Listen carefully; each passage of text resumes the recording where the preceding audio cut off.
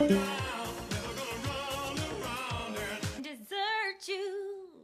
Astley?